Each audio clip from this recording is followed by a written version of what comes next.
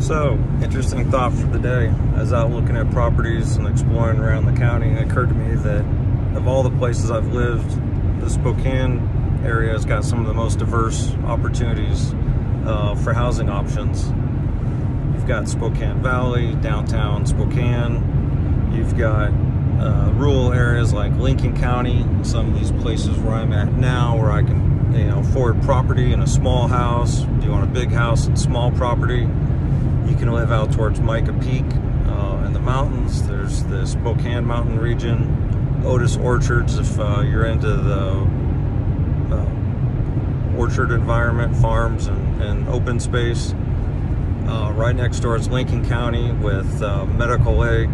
Well, Medical Lake is Spokane County, but you've got Medical Lake, uh, and then the county line with Lincoln County. You got Reardan and Davenport. If you really enjoy activities, I enjoy uh, you know, trap shooting, and I can do that in town, five minutes from my house. You're not going to find that very many other places.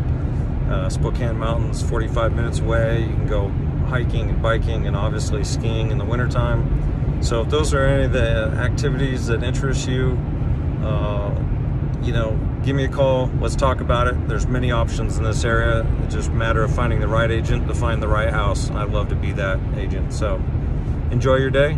Give me a call.